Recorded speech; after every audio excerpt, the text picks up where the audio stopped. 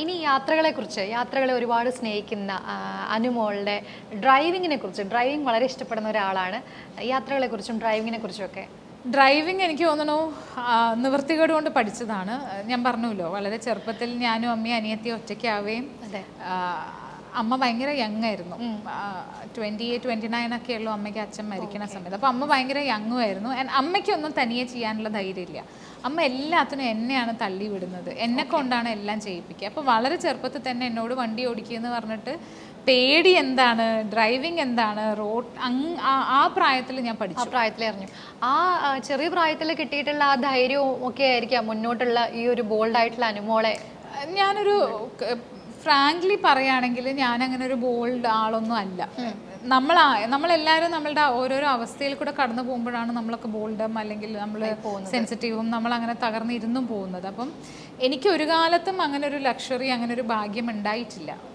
തളർന്നിരിക്കാനുള്ള അല്ലെങ്കിൽ ഇമോഷണലായിട്ട് ഞാൻ ആ ഹൈലി ഇമോഷണലാണ് ഞാൻ ഭയങ്കര സെൻസിറ്റീവ് ആയിട്ടുള്ള ഒരാളാണ്. പക്ഷെ എനിക്ക് അങ്ങനെ ഞാൻ ഇരുന്ന് കഴിഞ്ഞാൽ എന്റെ വീട് തകർന്നു പോകും. എന്റെ വീടും ക്ഷീണിച്ചു പോകും. അപ്പോൾ അത് കാരണം അന്ന് മുതൽ എനിക്ക് ബോൾഡായിട്ട് തന്നെ നിൽക്കേണ്ടി വന്നിട്ടുള്ള ഒരാളാണ്. എന്താ വെച്ചാൽ അമ്മയായാലും അനിയത്തിയായാലും അവർ അച്ഛനെ റീപ്ലേസ് ചെയ്തിട്ടാണ് അവർ എന്നെ പ്ലേസ് ചെയ്യുന്നത്.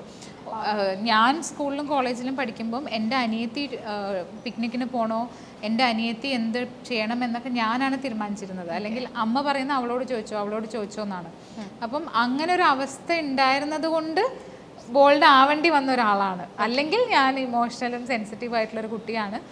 എന്റെ അവസ്ഥയിൽ ബോൾഡ്നെസ് പുറത്ത് വന്നതാണ്. ആണ്. യെസ് ഇനി പുറത്തിറങ്ങുമ്പോൾ അനുമോൾക്ക് പ്രേക്ഷകരിൽ നിന്നുള്ള പ്രതികരണങ്ങളൊക്കെ വരുമ്പോൾ ഏറ്റവും മനസ്സിനെ ടച്ച് ചെയ്തിട്ടുള്ള ഒരു കാര്യം എന്തെങ്കിലും ഓർമ്മയിലുണ്ടോ? സ്നേഹം അവരുടെ ഒരു സ്നേഹം കാണുമ്പോൾ നമുക്കൊരു ഭയങ്കര സന്തോഷം ഉണ്ടാവും ഇപ്പോൾ റീസെന്റ്ലി എന്റെ ഇന്റർവ്യൂസൊക്കെ കണ്ടിട്ട് ഒരു ഒരു ഹൗസ് വൈഫായിട്ടുള്ള ഒരു സ്ത്രീ കുട്ടികളൊക്കെ ഉണ്ട് കല്യാണം കഴിച്ച് സെറ്റിലായി അവർ ഹാപ്പിലി ജീവിക്കുകയായിരുന്നു. അവർക്ക് എന്തെങ്കിലും തൊഴിൽ ചെയ്യണം എന്നുള്ള ഒരു തോന്നൽ വന്നു. തന്നെ നമ്മൾ എന്തെങ്കിലും തനിയെ ചെയ്ത് ജീവിക്കണം എന്നുള്ളൊരു തോന്നൽ വരികയും അവരൊരു ബ്യൂട്ടീഷ്യൻ കോഴ്സ് പഠിക്കുകയും അവർ സ്വന്തമായിട്ട് ഇത് ചെയ്ത് തുടങ്ങാൻ ഇൻസ്പയർഡ് ആയിട്ട്. അങ്ങനത്തെ ഒക്കെ മെസ്സേജസ് വരുമ്പോൾ നമുക്കൊരു ഒരു സാറ്റിസ്ഫാക്ഷനും ഒരു സന്തോഷമൊക്കെ കിട്ടും. അങ്ങനെ കുറേ പേരുണ്ട്.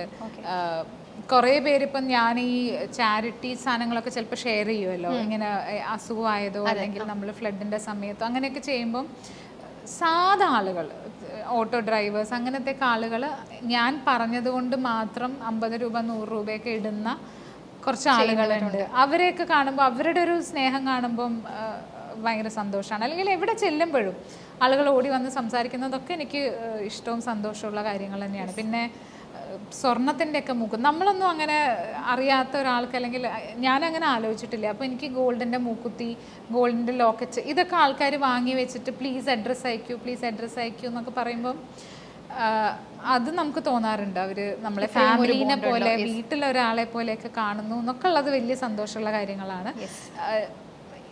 കുറേ കാര്യങ്ങളിൽ ഭാഗ്യം ഉണ്ടായിട്ടുള്ള ഒരാളാണ് ഞാൻ. ആൾക്കാരുടെ ഒരു ഇഷ്ടമൊക്കെ എനിക്ക് എപ്പോഴും കിട്ടിയിട്ടുണ്ട്. അപ്പൊ അതൊരു വലിയ ഭാഗ്യം തന്നെയാണ് തുടർന്നും ഇനിയിപ്പോ പെൻഡുലം റിലീസ് ആവാണ് ആ ഒരു സ്നേഹം തന്നെ ഉണ്ടായിരിക്കുന്ന ഒരു സയൻസ് ഫിക്ഷൻ മൂവിയാണ് അപ്പൊ